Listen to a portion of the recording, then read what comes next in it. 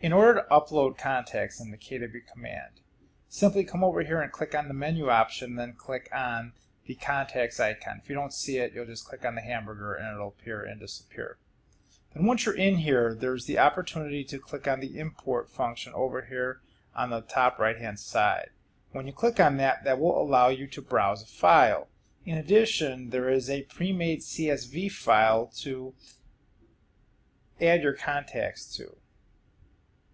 Now, if we look at that, what we will see is that we will see that this is the sample page, and the first thing that we have to do is to delete this uh, box here that says sample. And now we can add in all the different information uh, about the clients. And what I noticed here is that you have two email addresses, you have up to four phone numbers, the about section, what might be like the notes for the people.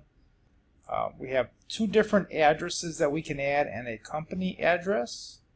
Uh, we have a status group, which is either requires one that says captured or connected. Connected would most likely mean I, I met them in a real life, and captured might mean that they were an online uh, lead.